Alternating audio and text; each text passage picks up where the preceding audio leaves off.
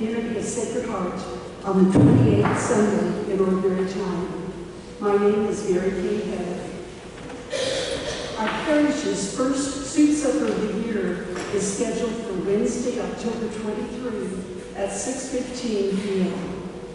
Mike Hinges, the co-founder of St. Raymond House, will share the successes of the home and, and uh, supporting and the, a way of supporting the mothers and babies and keeping them from having to go to the pro-lifer. I'm sorry, I got that twisted up. He saves a lot of women to have their babies rather than taking the alternative route. And he's a very interesting speaker and someone that would be very worthwhile to come and listen to. We ask that you bring a friend and enjoy a bowl of homemade soup. And this is sponsored by the Pro-Life Committee of our Social Concerns Commission. Catholic Charities of USA will be raising funds to help with the disaster relief needed after the two recent damaging hurricanes in Florida although it hit a lot of states, not just Florida. There is an article in the bulletin directing you to an easy way to donate. Please make use of the QR code that is provided. The scripture readings are in hymnal under number 1174, and you can find the hymn numbers and some mass parts on the hymnal. If you have a cell phone, I ask that you please silence it at this time. Our presider at this Mass this afternoon is our pastor, Father Dan Burns, and he is assisted by Deacon Bill Paulette. I invite you now to please stand and remain standing as you read those words.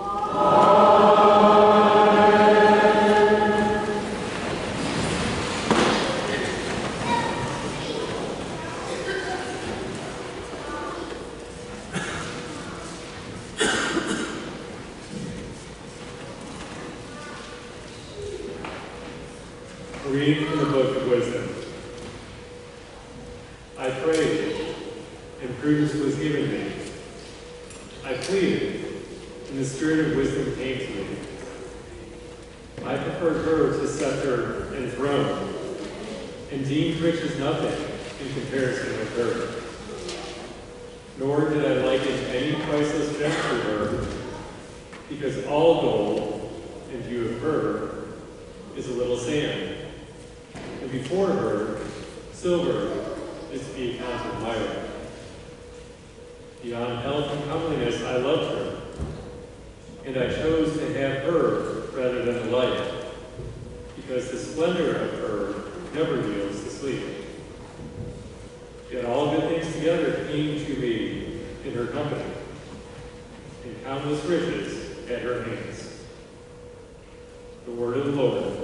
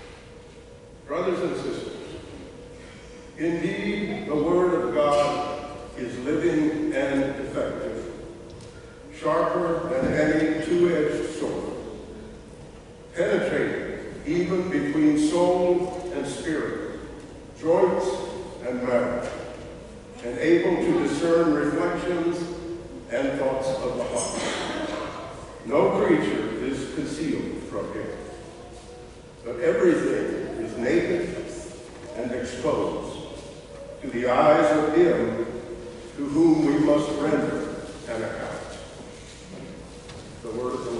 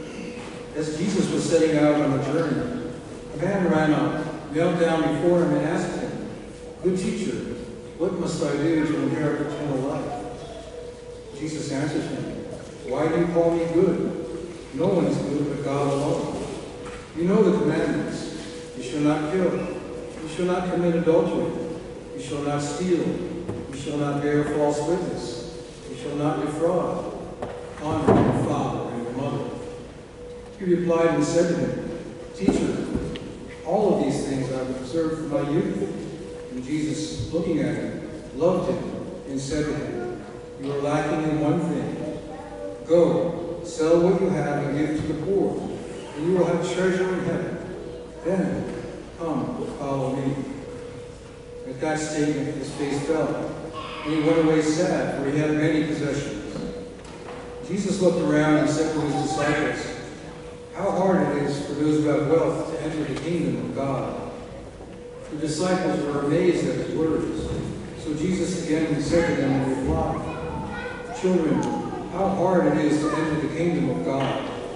It is easier for a camel to pass through the eye of a needle than for one who is rich to enter the kingdom of God. They were exceedingly astonished and said among themselves, Then who can be saved? Jesus looked at them and said, For human beings it is impossible, but not for God. But all things are possible for God. Peter began to say to him, We have given up everything and followed you. Jesus said, Amen, I say to you, there is no one who has given up house or brothers or sisters, or mother or father or children or lands for my sake and for the sake of the gospel, will not receive a hundred times more now in this present age. Houses and brothers and sisters and mothers and children and lands with persecutions and eternal life in the age to come. The Gospel of the Lord. All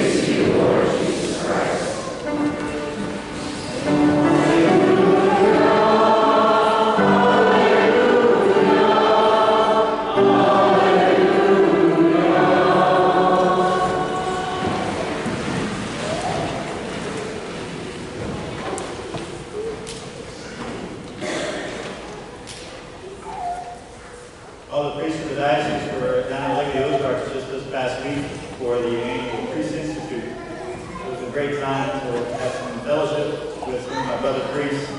We had some presentations on uh, vocational ministry. And so come back kind of eager to encourage uh, all young people to be open to God's will. And we have some literature that we can share in that regard as well. And I think even our gospel today beautiful in that regard as well.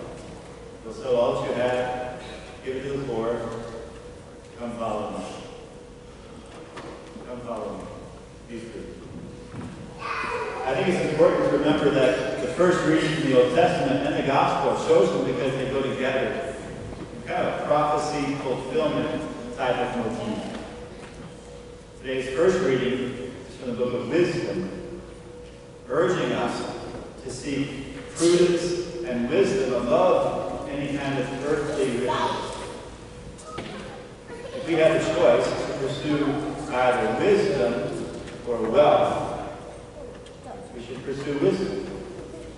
In part because wealth without wisdom is a fool's wealth, and it won't last long but also because there's something eternal about wisdom and prudence and all the virtues. Earthly wealth is not and never an end in itself. It's only a means for something more important. Have you found the more important?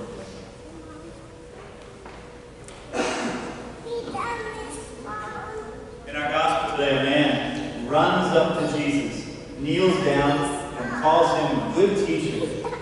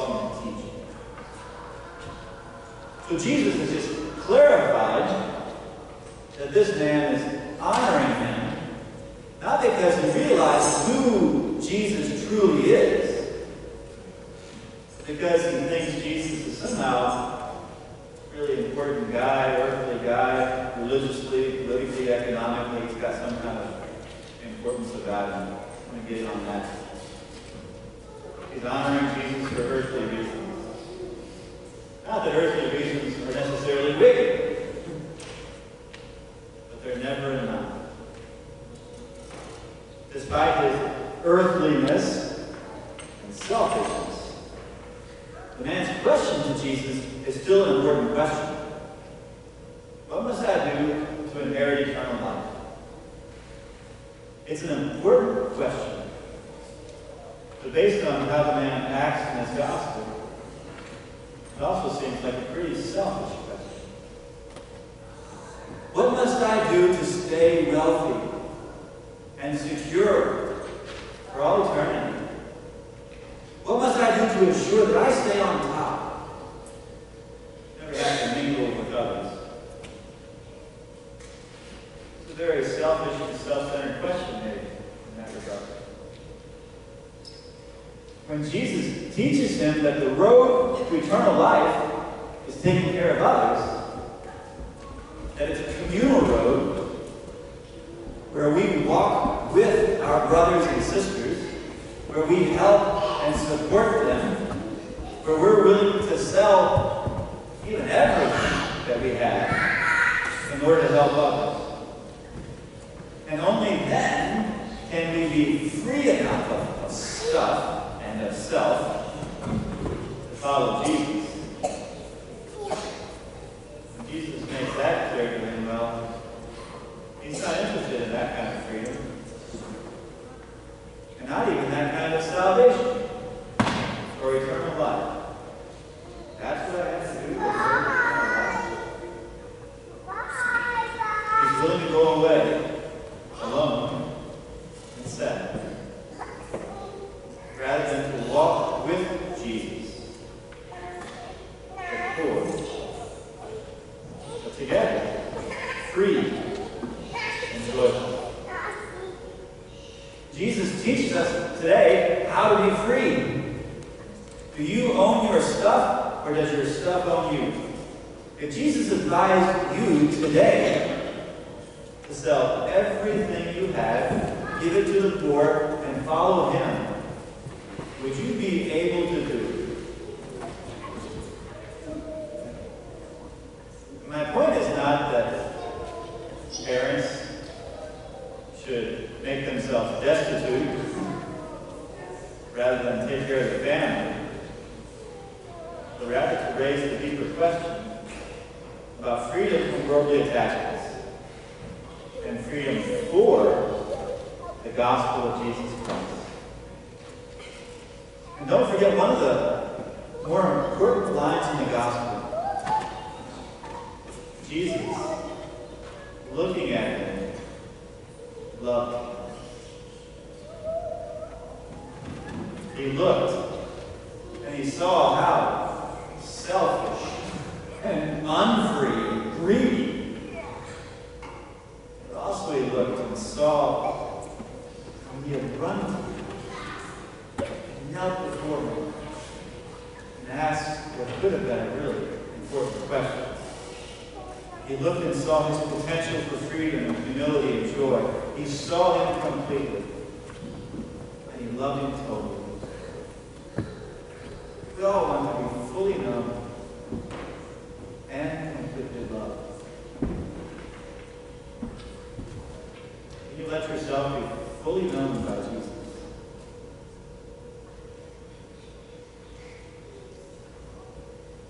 Today begins our Catholic stewardship renewal for this year. It's a great time to ask ourselves how free we are of our worldly attachments. How free am I regarding my stuff? If Hurricane Helene struck Columbia and I lost everything, how free am I from worldly attachments? Secondly, it's a great time to ask how free am I for the mission of the gospel? For following Jesus. What would Jesus say about your discipleship today? What would he say about your walk with the church, with your parish, with the poor? Stewardship is about being a good steward of, of all the gifts, spiritual, social, material, that God has given us. How well am I stewarding God's many blessings in my life? Remembering our first reading, I think it's important for us to pray for prudence and wisdom in tending, for stewarding God's gifts in my life. That's a great thing about the word stewardship. It's a reminder that everything that I have, my person, my gifts, my talents, my family and friends, including my stuff, none of it really belongs to me. God can take all of that away in a heartbeat. He wants us to be prudent and wise stewards who know that we're caring for gifts that don't actually belong to us, but to Him. So I encourage all of us, first, to pray for prudence and wisdom. Secondly, to pray for freedom. Freedom from being possessed by stuff or even possessed by relationships. And thirdly, to pray about how you, your stewarding of your prayer life needs to change. How your of your tithing needs to change. How your stewarding of your participation in the life of the parish needs to change. Church doesn't need our giving.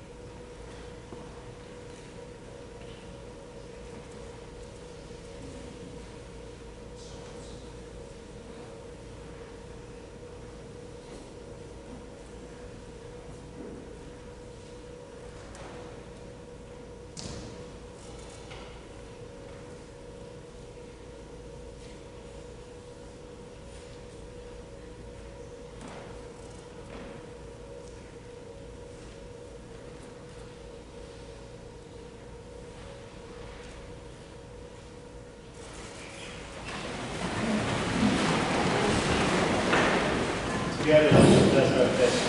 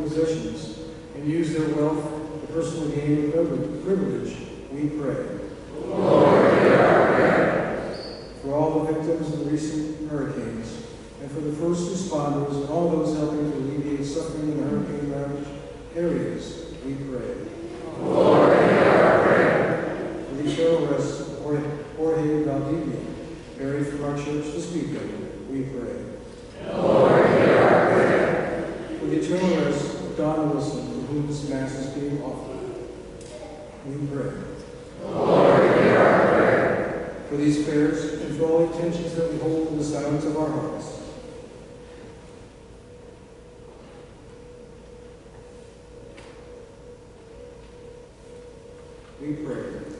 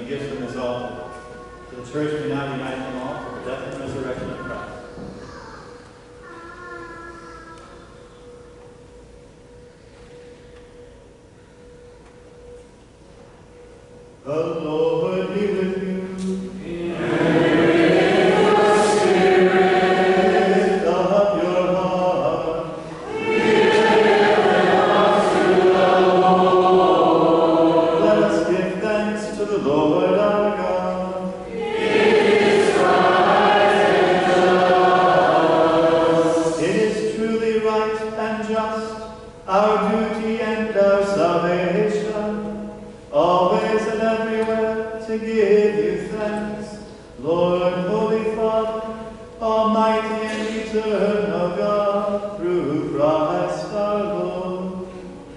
For by his birth he brought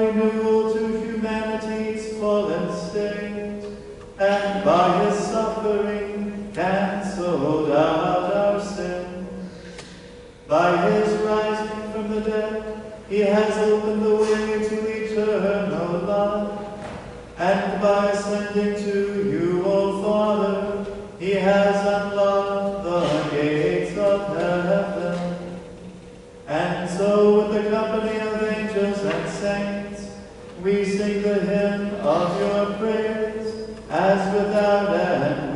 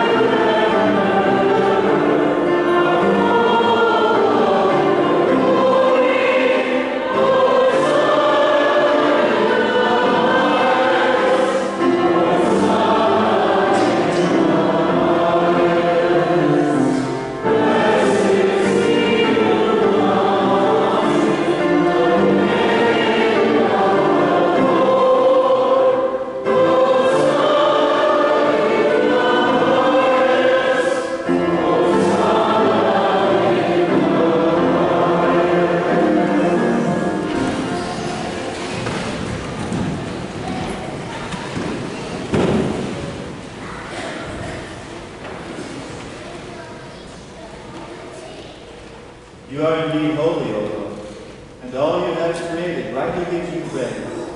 For through your Son, our Lord Jesus Christ, by the power and working of the Holy Spirit, you give life to all things and make them holy. And you never cease to gather a people to yourself, so that from the rising of the sun to its setting, a pure sacrifice may be offered to your name. Therefore, O Lord, we humbly implore you, by the same Spirit, graciously make holy these gifts we brought to you for consecration, that they may become the body and blood of your Son, our Lord Jesus Christ, whose command we celebrate these mysteries. For on the night he was betrayed, he himself took bread, and giving you thanks, he said the blessing, broke the bread, and gave it to his disciples, saying, Take this, all of you, and eat it, for this is my body, which will be given up for you.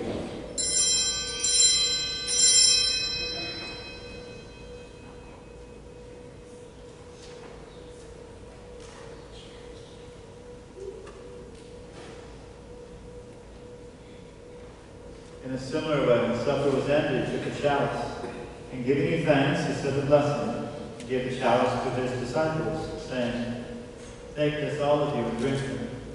For this is the chalice of my blood, the blood of the new and eternal covenant, which will be poured out for you and for many, for the forgiveness of sins. Do this in memory of me.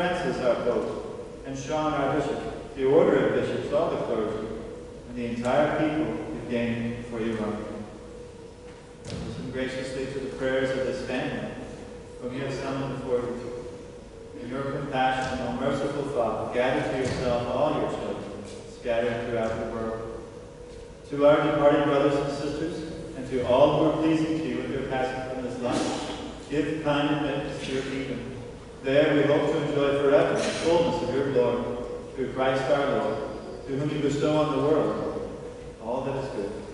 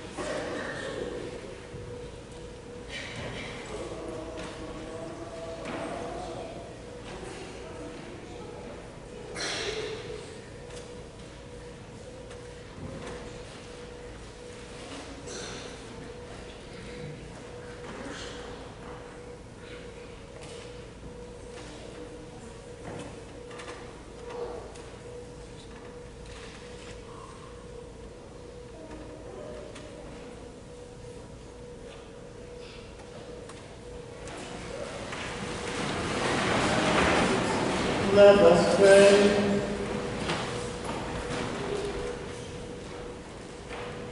We entreat your majesty most humbly, O Lord, that as you feed us with the nourishment which comes from the most holy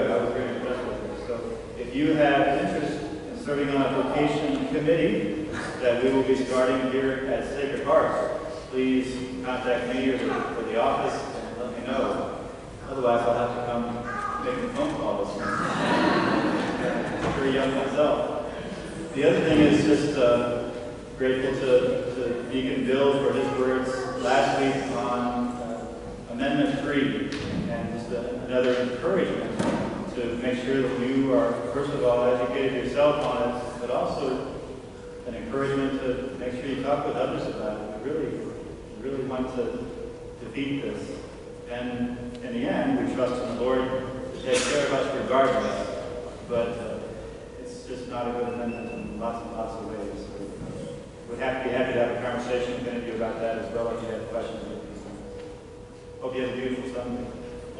The Lord be with you. And with your spirit. Now, mighty God, bless the Father, and the Son, and the Holy Spirit.